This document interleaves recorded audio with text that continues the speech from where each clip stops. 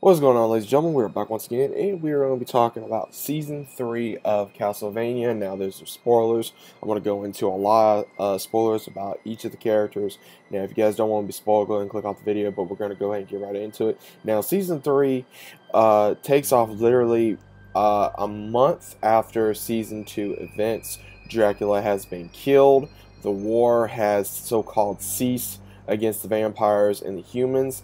Now, uh, I want to say a good fourth or a good half of Dracula's war council was eliminated, and we had where uh, Carmilla and part of her army took Hector to her castle up in the north, and then you had where uh, Alucard stayed behind, and Trevor and, uh, Trevor and Sypha they went on their own adventures. Now, well, let's go ahead and talk about Alucard. He goes um, the entirety of this season where he is alone. He's he's pretty much he feels like he's going insane because in the entirety of this season he is alone, and then he finally meets two individuals that are from I believe it was either China or Japan, and they were supposedly prisoners of one of the ones that was in Dracula's War Council.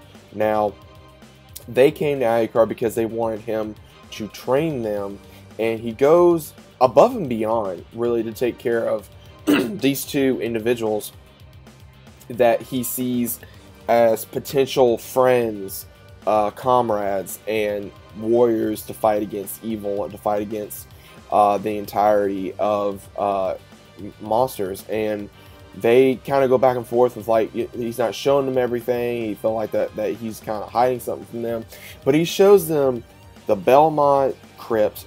He shows them the weapons of Dracula's castle, aka now his castle now. And right when he's letting his guard down, he's making them food, he's training them, he's giving them information.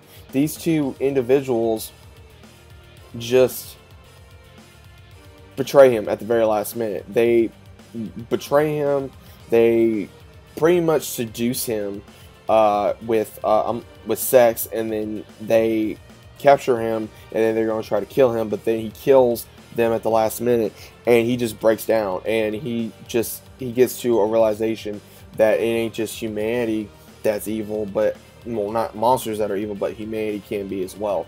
And at the very end of the scene we see where he's walking back from getting food fish um, things of that nature and he just says well i could have put a uh, you know do not go inside. And he basically did like his father did was basically put a spike through them and head outside the door, and which is a sign all by itself. Then we see where Trevor and Sypha go through different adventures. They're trying to uh, help go through. Sypha's having fun because she's taken a real liking to Trevor.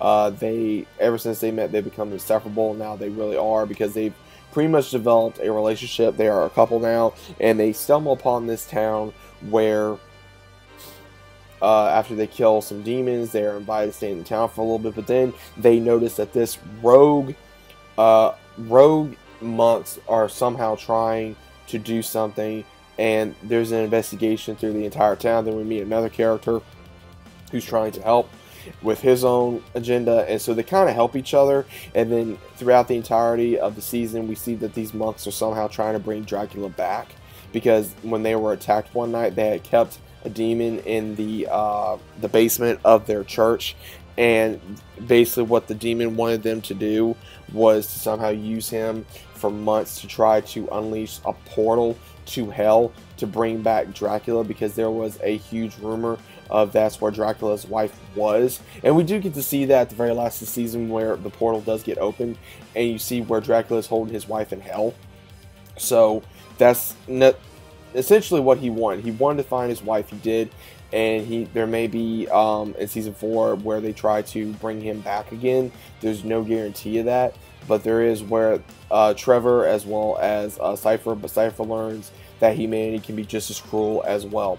So in the entirety of the season, every character sees the cruel cruelness of both vampires and monsters and humanity at the exact same time because we see where as soon as the events settle, where they where they stop this event from occurring, they do see from one of the characters he was uh, a very evil human being, which he was basically a monster in disguise, and they figured that out the very last minute, and Sypha kind of got her eyes open to where not everybody is who they seem to be.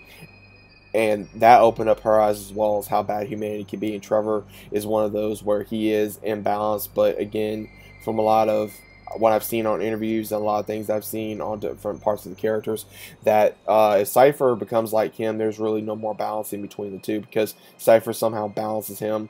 Then we also get to see Isaac. He is in the process of building a monster army. We see him go to place to place. He's wanting to build an army to take his revenge against uh, Hector as well as Carmilla in the process. So we do see where Isaac goes through this entirety of meeting different humans along his journey.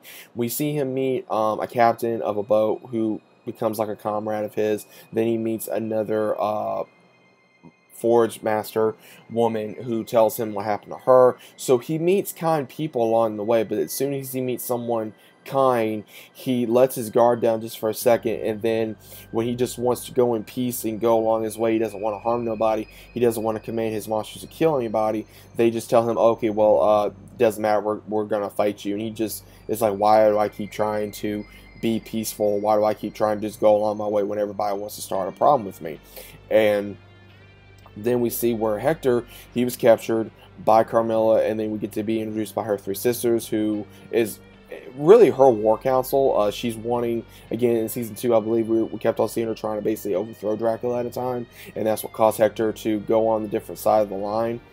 Where we do see where Hector is being treated uh, by his sisters as a prisoner. Then the sister Lenore, she tries to persuade him in different manners to come over to their side that, you know, he'll be treated very fairly. He can help create monsters for them, and he will not be uh, like how, how she thought Dracula basically just threw him out there. Basically, he was going to kill him at some point. So it really does make uh, Hector rethink a few things.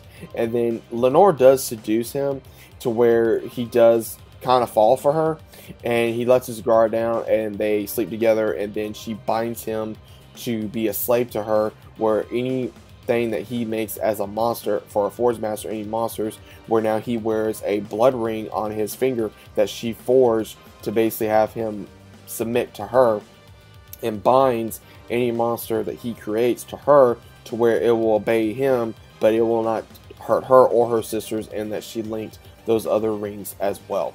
And her sisters, at the same time, Carmilla wants to overthrow the Western and Eastern world. She wants to go forth towards the Eastern world because there's more toward the Eastern front than the Western front. So she pretty much is now taking Dracula's uh, plan in a certain manner where she still wants to rule the world with her sisters and have enough blood to sustain them as well as rule and have humans as slaves. So this season was absolutely insane.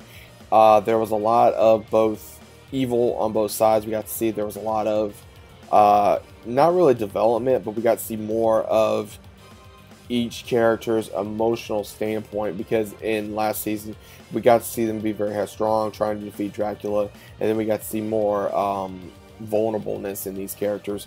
But I enjoyed it. I, I thought it was a badass season. It was really crazy because you never knew what was going to happen until it actually happened.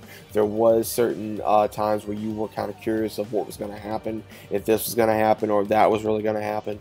So it's pretty much guessing until like the last minute until like I think season not season but like episode eight, nine, something like that. But there are ten episodes. They're about 30 minutes each. Uh, so very well done. The animation was very well done, I have to say. Uh, voice acting was absolutely incredible. Uh, can't can't get enough of this series. I, I just hope that they make more uh, seasons for us to enjoy. Uh, ten episodes, I think, was mm, suffice because I do believe that you can't go that far on sometimes on an a animated series. So, would like to see ten episodes more of uh, Castlevania. So let me know what you guys think about Castlevania Season 3. If you guys checked it out, what you guys think about it? Did you hate it? Did you like it? I'd like to know your thoughts about it in the comments down below. If you guys are new to the channel, consider subscribing. Link down below. And I'll see you guys on the very next one. See you later.